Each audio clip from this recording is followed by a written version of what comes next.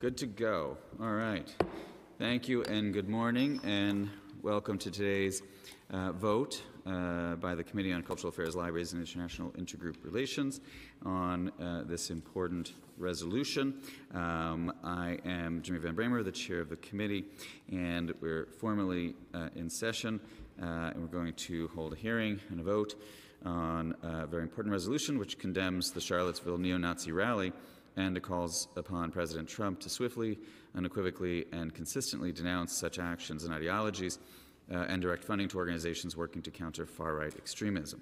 We're joined by Councilmember Andy King of the Bronx, and uh, we're going to keep this hearing uh, open, uh, but also to facilitate the vote because there are many committee meetings happening simultaneously.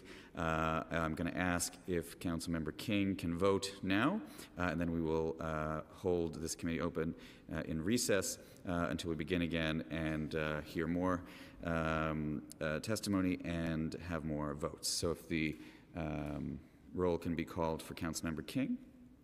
Committee Clerk Matthew DiStefano, Committee on Cultural Affairs, Libraries, and International Intergroup Relations. Roll call on the pre-considered resolution.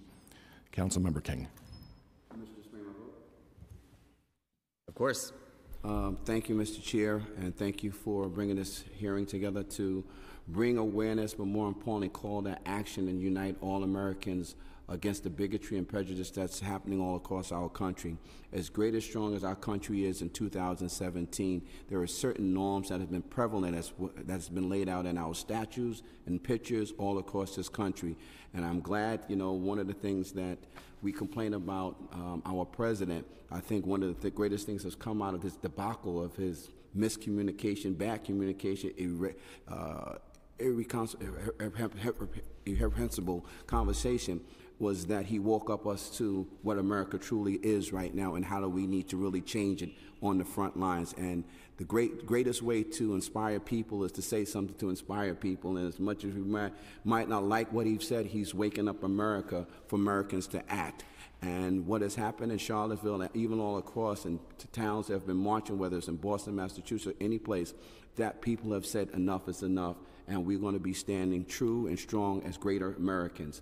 So, on one end, uh, I am sat, dissatisfied with what Trump has done, and on the other hand, I'm grateful that he's waking us all up just to take a step forward to improve America, because the only way America improves is when we all come together as one. So, with that all being said, I'm glad to vote on this resolution to call on Trump to denounce all acts of bigotry and president as the leader of our country, and more importantly, any funding that has been removed to fight all these ridiculous acts of hatred be restored, and as we move forward as a better government. So, with that all being said, I vote aye. Thank you very much, uh, Councilmember King. Uh, and with that, we will hold this uh, committee meeting in recess um, and begin shortly, and also obviously keep open the vote uh, until more members are present. Thank you.